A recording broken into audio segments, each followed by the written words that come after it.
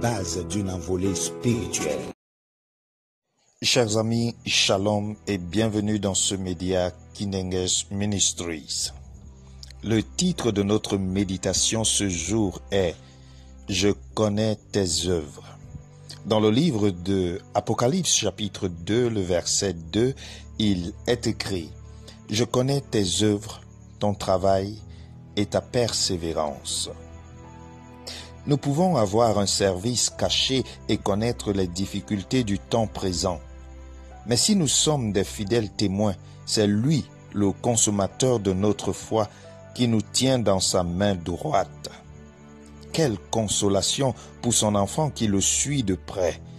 Notre chef divin, qui agit maintenant encore en grâce, nous secourt dans l'accomplissement de notre tâche et de notre témoignage. Il veille à ce que le chandelier repande la lumière.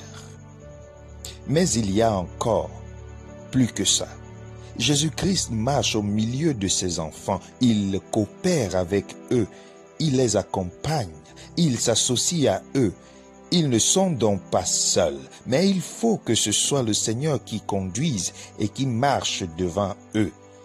Si c'est l'Église qui conduit, Christ est en arrière, sa lumière est éteinte et sa vie est étouffée. Mais, quand son peuple le laisse prendre l'initiative et suit ses directions, alors là, il y a bénédiction et succès spirituel.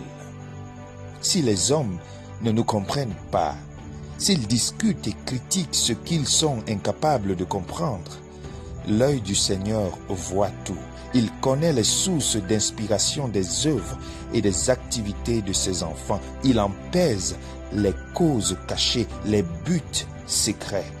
Tout est nu devant lui et si nos intentions sont limpides et le glorifient, nous entendrons ce jour, c'est bien, bon et fidèle serviteur.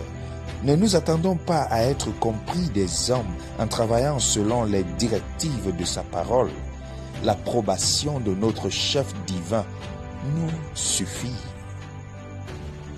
Écoutez les amis, poursuivons avec d'autant plus de zèle le travail qui nous est confié. Il nous console avec ses paroles. Je connais tes œuvres, ton travail et ta persévérance. Par ailleurs, n'oublions cependant pas que Christ a dû dire à cette même église d'Éphèse, tu as abandonné ton premier amour. En d'autres termes, tout en nous réjouissant de nos privilèges, veillons et prions afin que la flamme du premier amour ne s'éteigne jamais et que la fraîcheur et l'élan de cet amour ne soient jamais remplacés par notre activité ou par nos conséquences.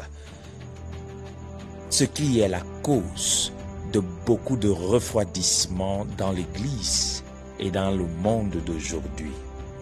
S'il est vrai que Dieu connaît nos œuvres et qu'il nous en félicite pour ceux qui le servent loyalement, il n'en demeure pas moins vrai que le risque de tomber est élevé.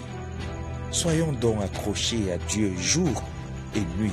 Soyons donc fidèles à Dieu, car lui seul dans sa bonté saura nous maintenir dans le droit chemin. Que Dieu te bénisse alors que tu écoutes ses paroles, mais surtout qu'il te soutienne afin que ton activité quotidienne soit le reflet même de l'amour qu'il a pour toi, afin que ton activité quotidienne participe à réunir les hommes, à communiquer l'amour divin. Sois béni. Shalom.